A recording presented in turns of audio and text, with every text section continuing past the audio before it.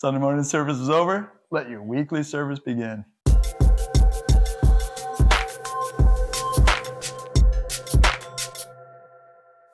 Hey, you guys, welcome back to Live It Out.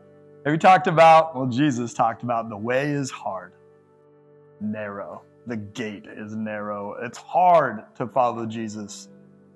A lot of people are like, no, it's not hard for me. It's great. It's my whole life It's just wonderful. Yes, amen. But difficulties come, especially when you actually follow Jesus rather than yourself, rather than your own desires, your own appetites or the world's desires and appetites. We're trying to accommodate a bunch of people. I'm not saying be mean and be a jerk. I'm saying let's take Jesus at his word. He talked about two ways, two trees, and two houses, two foundations, really. And so today, for Live It Out, something that will help you with this, I want to encourage you to assess where you're at in life, which path you're on, which tree are you? Are you bearing good fruit or bad fruit?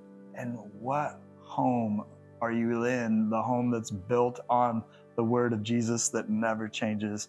Or is it the shifting sand of opinion and feelings?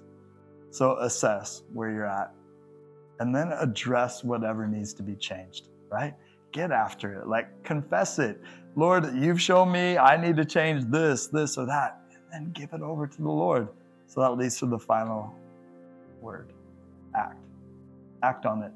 Assess, address the problem, and act on it. God has called us to do that. He's called us in His strength to do that. So I encourage you not just to be strong and courageous and let it be contagious, cool little catchphrase. Not really being that cool, it just rhymes. But like to live out your faith. That's why it's hard, because it's a daily death sentence, which we'll be talking about very soon.